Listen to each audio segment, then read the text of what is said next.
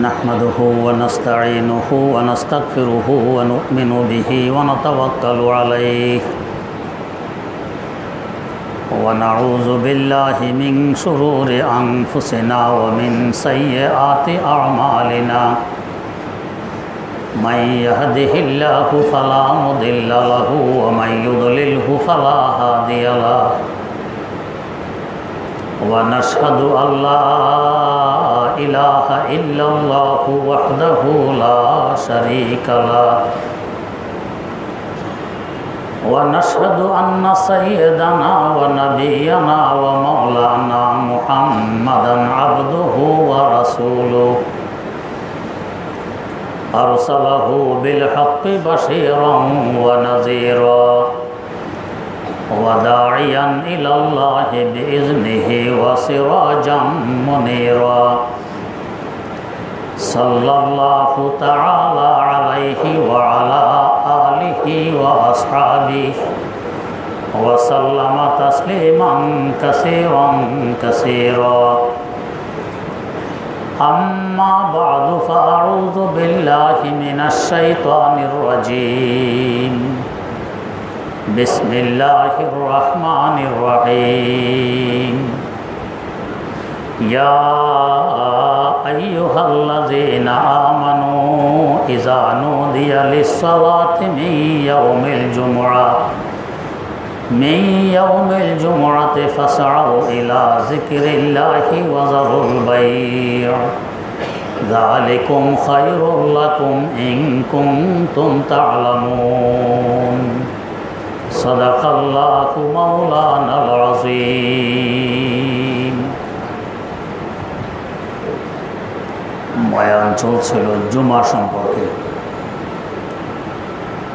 বলা হয়েছিল যে জুমা মানে একাত্রীকরণ। যেদিন আল্লাহ পাক জুমার দিন সৃষ্টি করেছেন, ওই দিন থেকেই এই দিনের বৈশিষ্ট্য বিক্ষিপ্ত কিছুকে একাত্রিত করে দেয়া। আমাদের আদি পিতা সৈয়দিনা হজরত আদম আলা নবীনা সালাতামকে জমিনের বিভিন্ন অংশ দিয়ে সৃষ্টি করলেন। ওই দিনটি ছিল জুমার দিন। বিভিন্ন অংশকে একাত্রিত করে আদি পিতা আদম আলাইসালামকে সৃষ্টি করা হয়।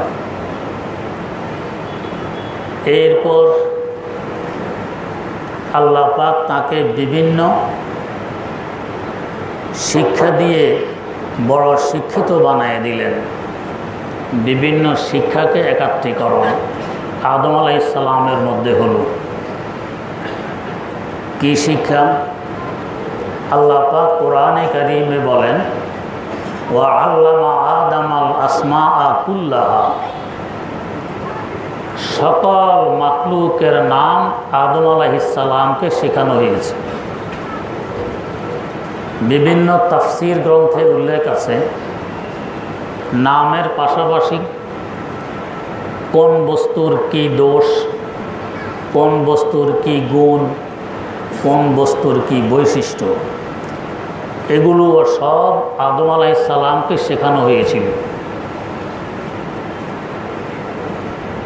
প্রত্যেকটি মাকলুকের নাম, দোষ, গুণ ও বৈশিষ্ট্য শিখা মুখস্থ করা। সাধারণ কথা। আমরা তো সাধারণত শুনে এসেছি আঠারো হাজার মাকলুকাত এই কথাটি সঠিক নয়। মাখলুকের সংখ্যা আঠারো হাজার। কোনো সহি হাদিসে উল্লেখ নেই। তাহলে কথাটি কোথেকে আসলো? বিভিন্ন তাফসির গ্রন্থে হজরত জাফর সাদেক রাহেমহল্লাহ তালা থেকে একটি রওয়ায়ত বর্ণিত আছে। রওয়ায়তটি হলো, আল্লাহ রবুল আলমিন আঠারো হাজার জগৎ সৃষ্টি করেছেন। তো আঠারো হাজার কথা ঠিক আছে, জগতের পরিবর্তে আমরা বলি মাকলুক মাকলুক আর জগৎ এক কথা নয়। এখন বুঝার বিষয়, জগৎ বলতে কি বুঝায়? তাফসিরে মারেফুল কোরআনে এই ব্যাপারে দুইটি মতামত উল্লেখ আছে।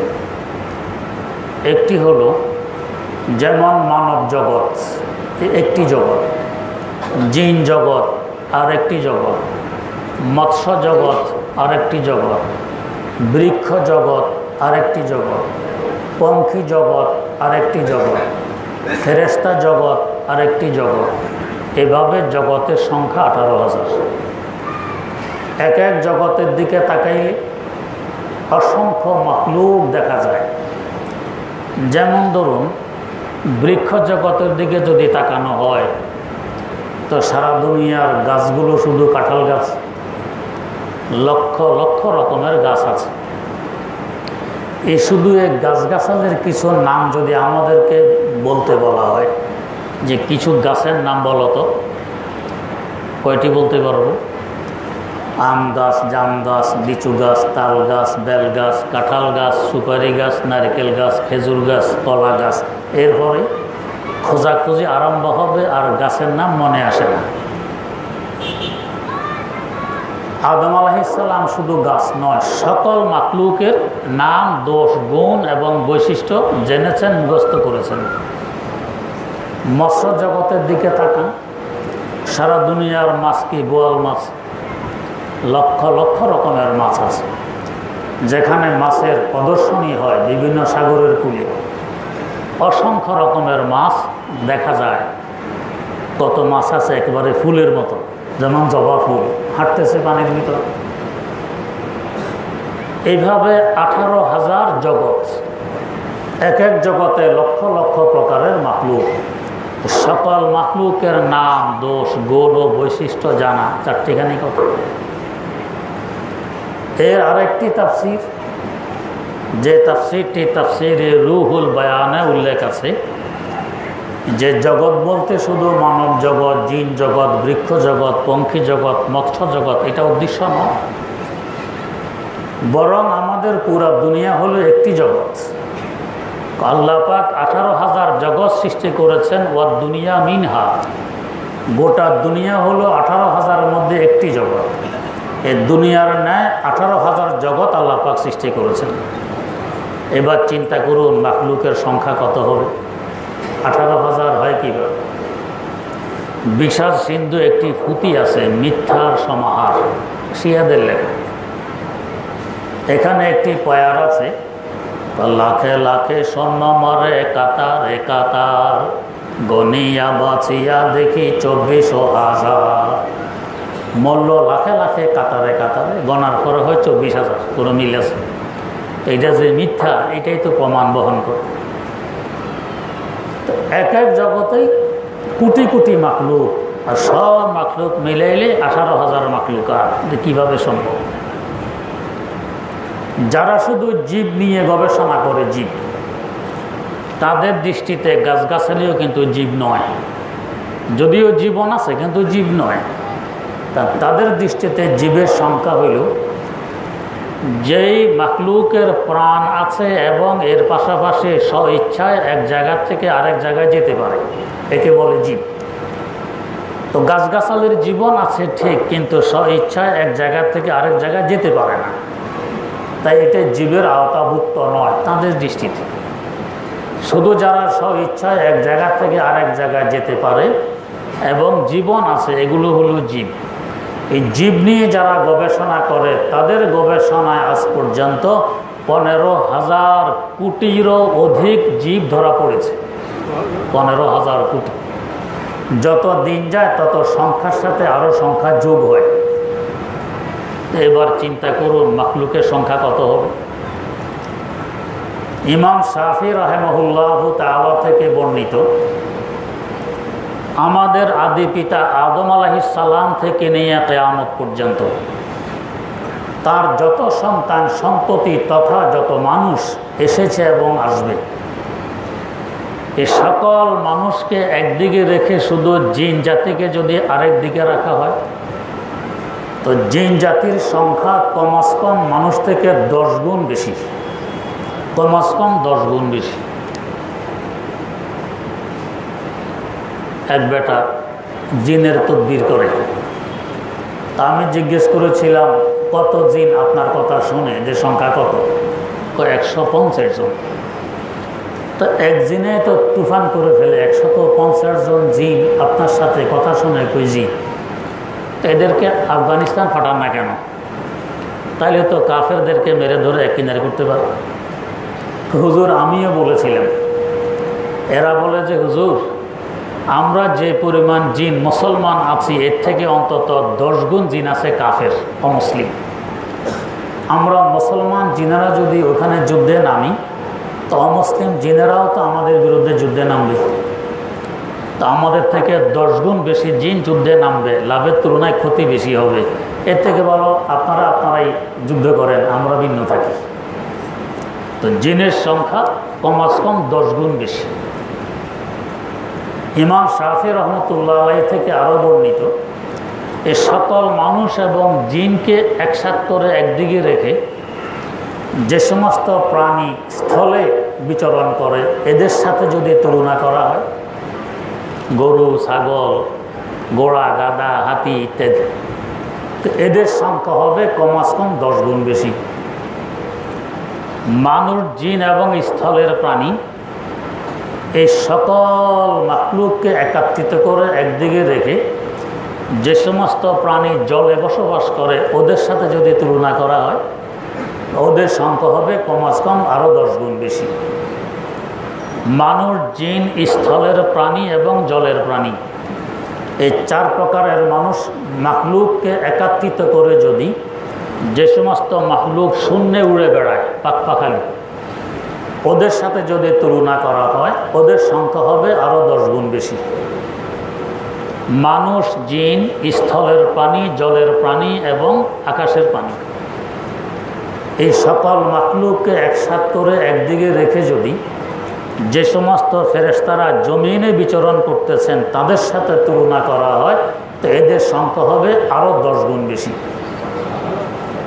তো মানুষ, জিন, স্থলের প্রাণী, জলের প্রাণী, আকাশের প্রাণী, জমিনের ফেরেস্তা এই ছয় প্রকার মাকলুককে একসাথ করে একদিকে রেখে শুধু প্রথম আকাশে যে সমস্ত মাকলুক বসবাস করেন, তাদের সাথে তুলনা করা হয়, ওদের সংখ্যা হবে আরও দশ গুণ বেশি।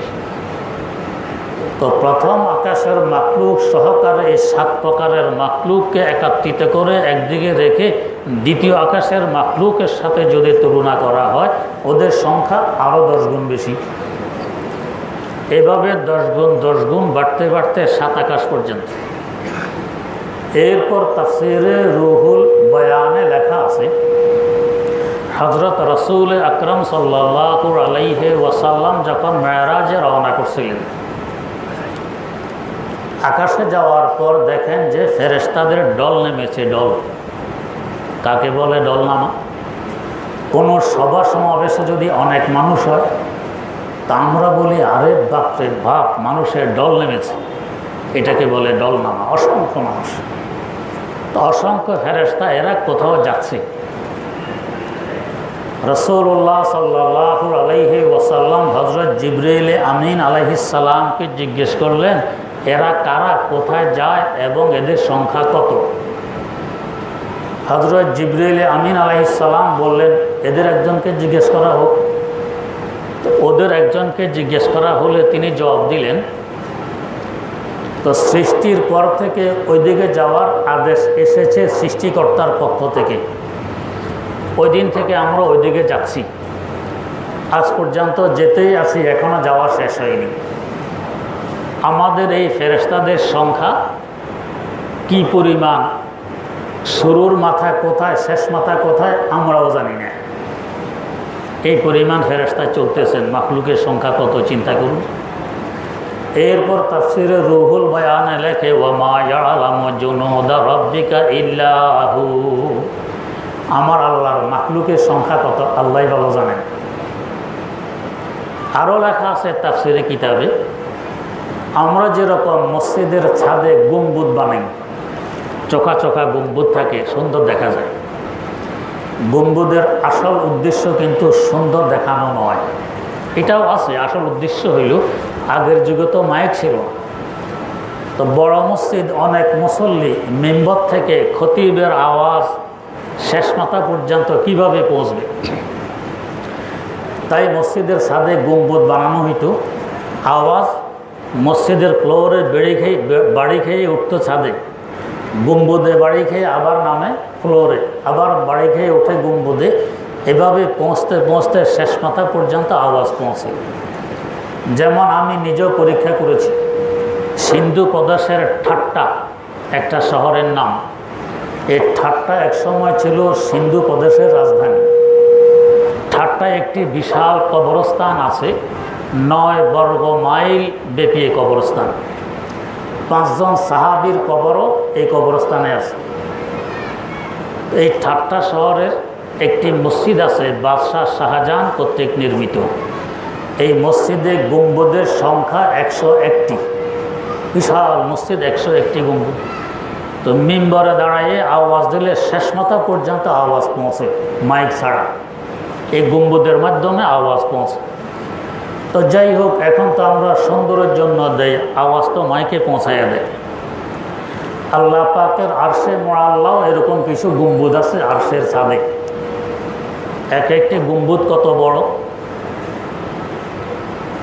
বোঝানোর জন্য তাফসির গ্রন্থে একটি দৃষ্টান্ত দেওয়া হয়েছে বোঝানোর জন্য। না হয় এটাও ওই গম্বুদের সামনে তুচ্ছ। কি দৃষ্টান্ত?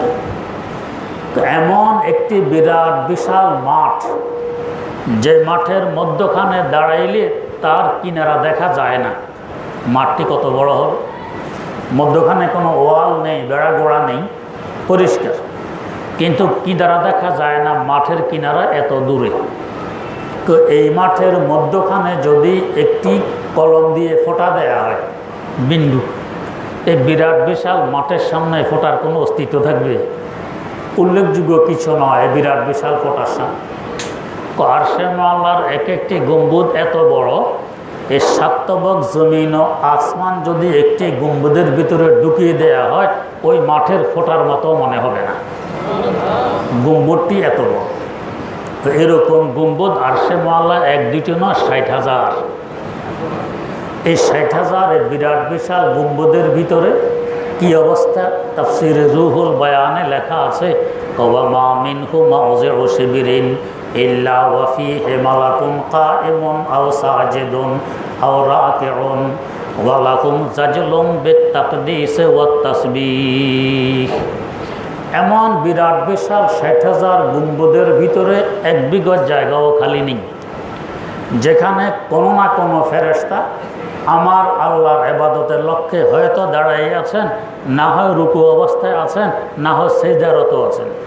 প্রত্যেকের জবান থেকে গুনগুন আওয়াজে তাসবি, তাহালিল উচ্চারিত হচ্ছে। চিন্তা করেন মাকলুকের সংখ্যা কত? এই সকল মাকলুকের নাম, দোষ, গুণ ও বৈশিষ্ট্য আদম আলাহিসাল্লাম শিখেছেন, মুখস্থ করেছেন।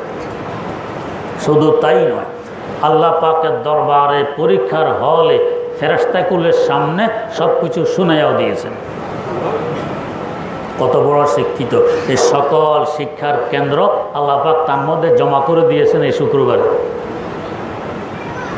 তাফসির গ্রন্থে এই কথা উল্লেখ আছে, আদম আলাইসাল্লাম সাত লক্ষ ভাষায় কথাবার্তা বলতে পারতেন। সাত লক্ষ। আমরা যদি দু চারটি ভাষা জানি, এ বাংলা, ইংরেজি, আরবি দু সেটি আরে বাপ রে বাপ, আমাদের নামের আগে কত টাইটেল, কত উপাধি? ঢাকা আল্লাহর এক বন্ধা আছে, বিভিন্ন জায়গায় তার নামে পোস্টার দেখা যায়। তার নামের আগে আমি একদিন গুনেছি তেত্রিশটি টাইটেল। তেত্রিশ। লেখাপড়া মাদ্রাসার হিসাবে মাত্র ক্লাস ফাইভ। ক্লাস ফাইভ পর্যন্ত পড়ে যদি তেত্রিশটি টাইটেল নামের আগে লাগে, নাম কোথায় খুঁজে পাওয়াই কঠিন। যদি দাওরা হাদিস পাশ করতো, তো কয় হাজার টাইটেল লাগতো আল্লাহ বাবা জানেন। এই জন্য আল্লাহ পাক দাওরা হাদিস পর্যন্ত যাওয়ার তৌফিকও দেননি। যে এত টাইটেল পাবে কোথায়? চিন্তা কর। আর আদম আলাইসাল্লাম সাত লক্ষ বাসার মহাপণ্ডিত। আছে কোনো টাইটেল হজরত আদম আলাইসাল্লাম কোনো টাইটেল নেই। এই টাইটেল না থাকা মানে সকল টাইটেল তার কাছে আছে। কোনো নবীর আগে কোনো টাইটেল নেই। সাহাবাই কারামের আগে টাইটেল নেই। তার মানে সকল টাইটেল ওনাদের মধ্যে আছে। দিবে কোনটা? এই জন্য নেই। থাকলে তো সীমিত হয়ে যায়। তো সাত লক্ষ বাসার মহাপণ্ডিত। এখানে একটি প্রাসঙ্গিক কথা বলে দিই। তাফসির কিতাবে কথা উল্লেখ আছে। তার সন্তান সন্ততিরা যে বিভিন্ন ভাষায় কথা বলে, যেমন বর্তমান বিশ্বে সাড়ে তেরো হাজার ভাষা ব্যবহার হচ্ছে। সাড়ে তেরো হাজার ভাষা। পুরাতন কোনো ভাষা বিদায় নেয় নতুন কোনো ভাষা জন্মগ্রহণ করে। এইভাবে কেয়ামতের আগ পর্যন্ত তার সন্তান সন্ততিরা ওই আব্বার আনিত সাত লক্ষ ভাষায় কথাবার্তা বলবে। এর বাইরে যাবে না। তার মানে এই পৃথিবীতে সাত লক্ষ ভাষায় কথাবার্তা হবে। পুরাতন কোনো ভাষা বিদায় নিলে নতুন কোনো ভাষার আগমন ঘটবে। এভাবে সাত লক্ষ ভাষায় কথাবার্তা হবে। এই ভাষাগুলো আল্লাপাক একাত্র করেছেন কোথায়? আদম আলাইসালামের মাধ্যমে। তেনাকে সৃষ্টি করেছেন শুক্রবারে, যার নাম হলো জুমা। জুমা মানে একাত্রীকরণ। তো পুরা পৃথিবীর বিভিন্ন অংশকে একত্রিত করলেন আদম আলাহিসাল্লামকে সৃষ্টি করার জন্য এটাও শুক্রবারে। ওনাকে যে আবার বেহেস থেকে জমিনে পাঠালেন এটাও শুক্রবারে। সাথে সাত লক্ষ ভাষা দিয়ে দিলেন। সাত লক্ষ ভাষাকে একাত্র করলেন, আদম আলাহিসাল্লামের মধ্যে এটাও শুক্রবারে। এবং সকল মাকলুকের নাম, দোষ, গুণ বৈশিষ্ট্য শিক্ষা দিলেন এবং তিনি এগুলো শিখে মুখস্থ করে আল্লাহ পাকের দরবারে পরীক্ষার হলে ফেরেস্তাগুলোর সামনে শুনাই দিলেন শুক্রবার। নাম হলো জুমা। এটা সব শিক্ষাকে একাত্র করে দিয়েছে। এরপর তাকে যে বেহেস থেকে দুনিয়াতে পাঠালেন এটা শুক্রবার সকল শরীয়তের জামের সকল দিন, সকল নবীর শরীয়ত, আদম সালাম তার মূল। সেখান থেকেই আস্তে আস্তে শাখা বসাখা ছড়িয়ে পড়ছে। তিনি সকল কিছুর সমষ্টি ছিলেন। এটাও দুনিয়াতে পাঠাইলেন শুক্রবার। এটার নাম জুমা একাত্রিকরণ তো আল্লাহ রব্বুল আলমিন যেদিন থেকে শুক্রবার সৃষ্টি করেছেন ওই দিন থেকে এই দিনের বৈশিষ্ট্য বিভিন্ন ছড়িয়ে ছিটিয়ে থাকা বস্তুকে একসাথ করে দেয়। আল্লাহ রব্বুল আলমিন একটি পরীক্ষা নিলেন বাংলাদেশ যে একটি দিন আমি সৃষ্টি করেছি, এই দিনের বৈশিষ্ট্য ছিড়িয়ে ছটিয়ে থাকা বস্তুয়াদিকে একাত্রিতকরণ এই দিনের বৈশিষ্ট্য। এই দিনটি তোমরা বাছনি করে ঠিক করো, দেখি পারো কি না নিজেদের বিবেকের উপরে ছেড়ে দিলেন। ইহুদিরা বিবেক খরচ করে ইস্তেহাত করল, গবেষণা করল, করে তারা শনিবারকে স্থির করল যে এটা হবে ওই দিন। যেদিন আল্লাপাক সব কিছু একাত্রিক করছেন, এটা সেই দিন শনিবার। যুক্তি পেশ করল কি? আল্লাহ রবিবার থেকে মাকলুক সৃষ্টি করা শুরু করেছেন, শুক্রবারে এসে শেষ করেছেন। শনিবার খালি ছুটির দিন, অতএব এটা হবে ছুটির দিন। এখানে আমরা আবাদত বন্দিগি করি, তারা শনিবারকে ঠিক করছে জুমা হিসেবে ঠিক হইল না। তাদের গবেষণা ভুল করল, পদস্খলন ঘটল। এরপরে আসলো খ্রিস্ট ধর্ম আল্লাহ পাক এদেরকেও পরীক্ষা দিলেন, তোমরাও দিনটি ঠিক করো, তোমাদের বিবেকের উপরে ছেড়ে দিলাম। দেখি পারো কি না এরা গবেষণা করল, ঠিক করল রবিবার। যুক্তি দিল কি? যা আল্লাহ পাক রবিবার থেকেই মাকলুক সৃষ্টি করা শুরু করেছেন, তাই এটা সেই দিনেই হবে। তারা রবিবারকে ঠিক করে ছুটির দিন ঘোষণা দিল এই দিনে আবাদত বন্দিগি করে, অন্য সব কায়কারবার থাকে বন্ধ, অফিস আদালত ছুটি। এদেরও পদস্খলন ঘটল তাদের গবেষণায় ভুল হয়ে গেল, ঠিক করতে পারল আল্লাহ পাক ঠিক এই দায়িত্ব দিলেন মুসলমান সম্প্রদায়কে যে তোমরা ঠিক করো, দেখি তোমাদের গবেষণায় কতটুকু কুলায় মদিনায় মনাবার আর সাহাবি গবেষণায় করতে করতে উনি শুক্রবারকে ঠিক করলেন যে এই দিন হবে আমাদের ছুটির দিন আবাদতের জন্য অবসরের দিন। এই দিন আমরা আবাদত করব, ওয়াজ নসিহত করব, নামাজ কালাম বেশি করে করব আল্লাহ রবুল আলমিনের পক্ষ থেকে ঘোষণা আসলো যে আমার এলএমএ শুরু থেকে এই দিনে ছিল। এ তোমরাই কামিয়াব, তোমরাই পরীক্ষায় পাশ করলে এই দিনটাই শুক্রবার, এই দিনটাই জুমা। অতএব এই দিনে তোমরা একাত্রিত হও। যেহেতু এই দিনের বৈশিষ্ট্য, ছড়িয়ে ছটিয়ে থাকা বস্তু এদিকে একাত্র করা। তোমরা এই দিনে একাত্রিত হও বিভিন্ন মসজিদে। তাই প্রথম প্রথম তো ছিল এক শহরে এক মসজিদে নামাজ পড়া যাবে, জুমার নামাজ বিভিন্ন মসজিদে পড়া যাবে না। প্রথম দিকে এক জুমা, এক মসজিদে নামাজ পড়া হইত। যাতে পুরা শহরের সকল মানুষ এখানে একাত্রিত হতে পারে, জমাত বড় হয়। কিন্তু আস্তে আস্তে শহরের পরিধি বাড়তে আরম্ভ করে, লোক সংখ্যা বাড়তে আরম্ভ করে, এখন এত বড় মসজিদ কীভাবে বানাবে? যেমন দামেস্কের জামেড়ে ওমবি হজরত মুয়াবিয়া রাজিয়াল্লাহ তালা আনহু কর্তৃক জামে মসজিদ। শুধু ফিলার আর খুঁটির সংখ্যা ছিল এক হাজার। যে মসজিদে এক হাজার খুঁটি, মসজিদটি কত বড় চিন্তা করে। এত বড় মসজিদ বানানোর পরও দামেস্কের সকল মানুষের জায়গা এখানে হয় না, মানুষ আরও বেশি। তো প্রয়োজন বোধে আস্তে আস্তে ফোকা হয় কারাম ফতুয়া দিলেন যে এক মসজিদে আসা লাগবে না, বিভিন্ন মসজিদে জুমা বৈধ হবে। তো এখন এক শহরে বিভিন্ন মসজিদে জুমা এখন বৈধ। কিন্তু উদ্দেশ্য হইল অনেক মানুষকে একসাথ করা, একাত্র করা। এটা জুমার বৈশিষ্ট্য। তো এই পরীক্ষায় মুসলমানরা কামিয়াবি অর্জন করতে পেরেছে, গবেষণা করে। তাই আল্লাহ রব্বুল আলমিন এই উম্মতের মধ্যে ইস্তেহাদের দুয়ার খুলে দিলেন, গবেষণার দুয়ার। আবার যে সে গবেষণা করলে, হবে না, গবেষণার জন্য কিছু শর্ত সরায়াত আছে, কিছু যোগ্যতার প্রয়োজন আছে। এখন তো মাশা আল্লাহ আমরা অনেকেই গবেষক। এক বেটা আমাদের কাছে আসতো রিটায়ার্ডমেন্ট এখন আর চাকরির বাকরি নেই রিটায়ার করেছে। এসে বলতে, হুজুর, আমি কোরআন গবেষণা করি। মাশাল্লাহ বড় ভালো কথা, কোরআন গবেষণা করেন। তো আরবিতে কোরআন শরীফ পড়তে পারেন? কই, জি না, আরবিতে করতে পারি না। তো কোরআন অবতীর্ণ হয়েছে আরবি ভাষায়, আরবিতে পড়তে পারেন না গবেষণা করে, চিন্তা করুন। তো গবেষণায় কি দিয়ে করেন? আরবিতে পড়তে পারেন না। অনুবাদ দেখি। তো অনুবাদ দেখে হে গবেষণা করে। এখন তো গবেষকের অভাব নেই সারা দুনিয়া কত গবেষক? এখন রিটায়ারমেন্ট কাজ নাই, কর্ম নাই, কিছু নাই তুই কী করবে? এখন কোরআন গবেষণা। উল্টা ফাল্টা মন্তব্য পেশ করে। তো মৌলবীরা কি বোঝে? এ আমরা তো ভালো বুঝি কোরআন শরীফ। আমি কোরআন নিয়ে গবেষণা করি। আমাদের কাছে এসে বলে কোরআন নিয়ে গবেষণা করি। আলহামদুলিল্লাহ, আমাদের বাপদাদা চোদ্দ গোষ্ঠী কোরআনের ভিতরে, হাদিসের ভিতরে, আরবির ভিতরে। আমরা তো জীবন এখন মানে সাতান্ন বছর চলতেছে। এই আরবির ভিতরে, কোরআন হাদিসের ভিতরে চলতেছে। এখন আর দাবি করার সাহস নেই যে আমরা কোরআন নিয়ে গবেষণা করি বা আমি কোরআন জানি, আমি কোরআন বুঝি। এই দাবি করার সাহস নেই, করতেও পারব না। বরং বলব, আমি কিছুই জানি না। কিন্তু আরবিতে পড়তে পারো না তারপর আমি গবেষণা করি। তা আল্লাহ পাক এই উন্মতের জন্য গবেষণার দুয়ার খুলে দিয়েছেন, ঠিক, কিন্তু এই দুয়ার খোলার জন্য কিছু শর্ত সরায়াত আছে, কিছু যোগ্যতার প্রয়োজন আছে। এই যোগ্যতাগুলো দিয়েছে আমাদের ইমামদেরকে, ইমাম আজম আবু হানিফা, ইমাম দারুল হিজরা, ইমাম মালেক, ইমাম শাহরি ইমাম আহমদ বিন হাম্বল, এ ধরনের বড় বড় ইমামদের জন্য এটা বৈধ, আমাদের জন্য নয়। আমরা ওটার যোগ্যতা রাখি না তো যাই হোক, আল্লাহ রাবুল আলমিন নিজের বিবেকের উপরে ছেড়ে দিয়েছেন, জুমার দিন তোমরা বাছনি করো, দেখে পারো কিনা?